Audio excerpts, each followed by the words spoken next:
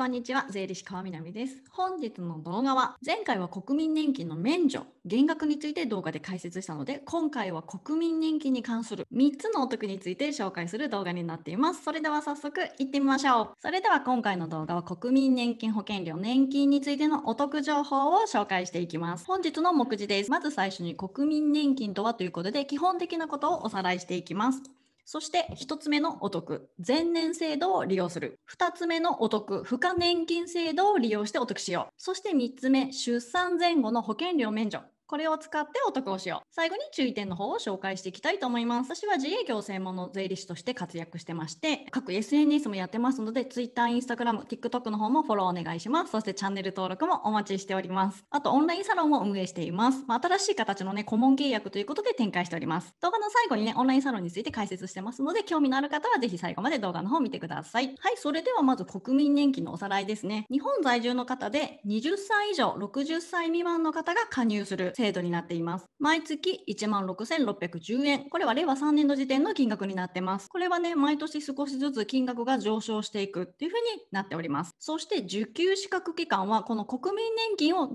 年かけないと年金をもらえる資格ないです。ですので、最低10年は国民年金はかけないといけないということになっております。そしてマックスですけど、何年かけるかと言いますと、この20歳から60歳加入しますので、マックスは40年間かけるということになります。国民年金には種類があって、第1号、第2号、第3号というふうに分かれています。自分がどこに該当するのか押さえておくことが大事です。まず第1号の方は自営業、まあ、個人事業主と呼ばれる方ですね。フリーランスの方になります。第2号は会社員や公務員。第3号車は専業主婦がこれらの種類によって振り分けられています。それでは1つ目の国民年金でお得するお得情報の1つ目を紹介していきます。全の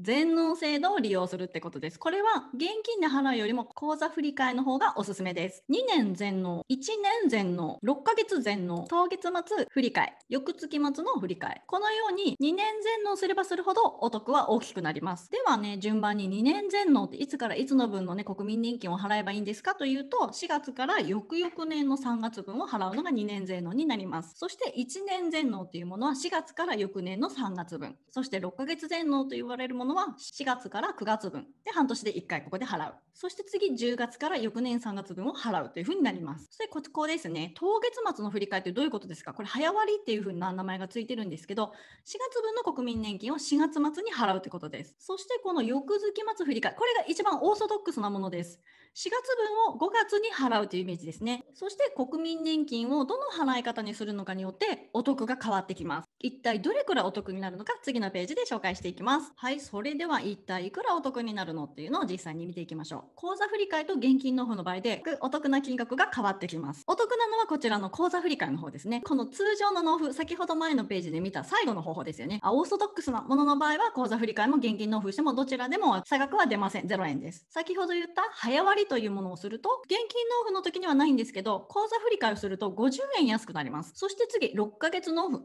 6ヶ月納付で納めていくと国民年金が1130円安くなります。現金納付の場合は810円なので、口座振替の方が320円お得ですよね。そして1年全納をするとどうなるかというと、口座振替の場合は4180円お得になります。この場合、現金納付よりも640円お得することになります。そして最後、2年全納ですね。2年全の場合は口座振替を使うと15,850円お得になります。現金納付の場合は14,590円ですので、口座振替は現金納付よりも1260円お得になるという。その他、クレジットカードによる納付の方法もありますので、その場合はね、お近くの年金事務所に相談してみてください。早割りをずっと2年間した場合は1200円お得になります。6ヶ月納付の場合は4520円2年でお得になります。1年前の場合は口座振替で8360円お得に。そしてなんと2年前納をすると2年経つと、まあ、15850円お得になりますよってことですね。で、国民年金はマックス40年かけるって最初にね、冒頭で紹介したんですけど、この40年間をすべてこの2年前納でいくと一体いくらお得になるかと言いますと、約31万7000円お得になります。同じように国民年金をかけてる方とね、もらえる年金額はもちろん同じです。なんですけども、2年全納していると、なんと結果31万7000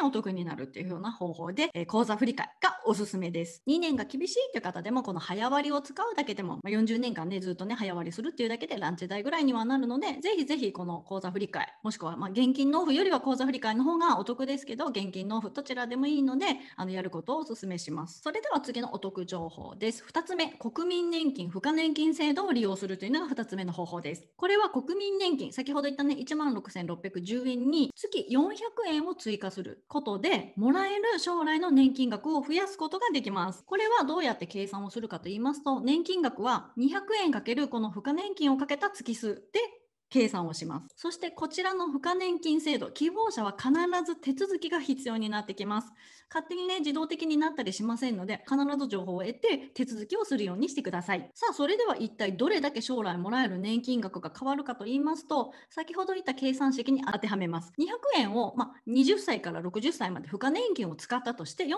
間かけてたとしますね。そうすると200円かける40年になりますので、480月を計算すると9万6000円が付加年金額としてこの年金に上乗せされるんですね。今のところのシミュレーションで毎月の保険料を1万6610円40年間抑えた場合の将来もらえる年金額は78万900円。これは令和3年度時点の金額なのでまた毎年変わっていくんですけど78万900円です。それに毎年プラスしてさらに上乗せで9万6000円がもらえるってことです。これは、えー、と1年ではなくて毎年もらえるので長く年金をもらえばもらうほどこの付加年金っていうののお得度が増していきますでもかけるのは月400円でいいってことです400円をね12ヶ月かけても年4800円ですので4800円かけるだけでもう年間この9万6000円、まあ、40年かけた場合ですけど9万6000円が上乗せされるっていうふうにイメージをしてください。この付加年金にはあの条件があります。まず先ほど最初に言った第1号非保険者であることです。ですので自営業フリーランスの方が該当します。残念ながらね会社員や公務員の方はこちら入ることができません。会社員の方でね大体皆さんあの厚生年金とか企業年金かけてらっしゃる方がいるのでこれは年金の保証が薄い自営業フリーランス向けにできた制度になっています。そしてもう一つ自営業フリーランスでもこの国民年金基金というのでさらに年金を自分で個別に上乗せするってものがあるんですけど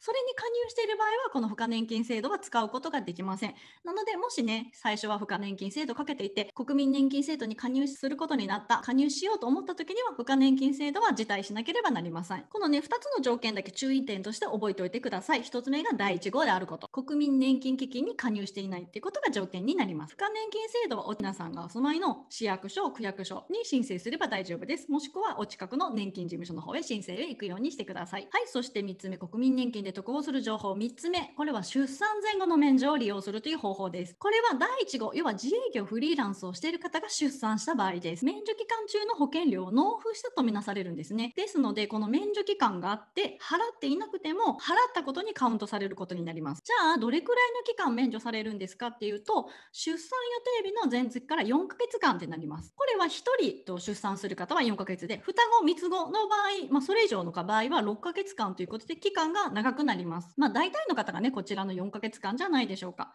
で、こちらも同じく申請をしないと適用はされません。そしてすでにもしね、この情報を知らなくて払ってしまったっていう場合は還付されますので申請をするとその分4ヶ月分が戻ってきます。で申請にはね母子手帳が必要になりますのでそちらの方合わせて準備していただければいいかと思います。これもね情報知らないとねそのまま払ったまま知らなかったっていうケースがあるのでもし該当される方は必ずチェックの方をした方がお得だと思います。では手続きについて解説します。先ほど言ったように申請が必要になります、まあ、皆さんお住まいの市区町村の国民年金窓口、またはお近くの年金事務所に行ってみてください。で国民年金のね、免除減額についてはもう一つ前の別の動画で撮ってありますので、もしね、あの所得が著しく減少したとか、退職したとか、失業したという方、もしくはコロナによって収入がダウンした方は該当する方がいるんじゃないかと思いますので、ぜひそちらの本の動画も合わせてチェックしてみてください。はい、本日の動画は以上になります。チャンネル登録の方よろしくお願いします。いいねやコメント、感想、あとリクエストありましたらコメントいただけると励みになりますので、ぜひぜひよろしくお願いします。あと私はンスタグラム、ツイッター Twitter、TikTok もやっていますので、TikTok は今ね、始めて5ヶ月で5万人以上フォロワーを獲得しております。ぜひそちらの方も合わせてチェックの方よろしくお願いします。そしてオンラインサロンを運営しています。税理士川南の会議室ということで、オンライン上に税理士を味方につけることができます。要はね、新しい顧問契約の形を展開中です。企画制の完全会員制、メンバーにならないと内容は見れないようになっています。そしてそこでは相談や質問が OK です。普段私がね、個別でマンツーマンで相談を受けるときは1時間1万円なんですけど、メンバーになっていただけたらら相談や質問がいつでもすることができるというのがメリットの1つ目だと思います。そして2つ目のメリットは税理士の裏側を公開しています。自分がどうやってふうにビジネスをしているのかとか、SNS のフォロワーの増やし方、まあ、YouTube、TikTok の裏側などなど、新しい税金情報、補助金の情報もすべてオンラインサロンに優先的に、もうほとんど最近外には出してないですね。オンラインサロンに本当に公開しておりますので、これが2つ目のメリットだと思います。そして3つ目、 Zoom サロンということで、メンバーとね、私とで Zoom でセッション、まあ、もしくはちょっと気軽にね、お茶飲みながら会話しましょうっていう Zoom サロンがあるので、そちらにね、参加していただくと、メンバー同士、他業種との方とね、情報交換ができる場として好評です。これが3つ目のメリットだと思います。オンラインサロンね、気になるよって方は概要欄に URL 貼っておきますので、ぜひクリックして、どんなものか覗いてみてください。はい、それでは本日の動画は以上になります。いつも最後まで見てくださってる方、本当にありがとうございます。税理士川南でした。またの動画でお会いしましょう。それではまた。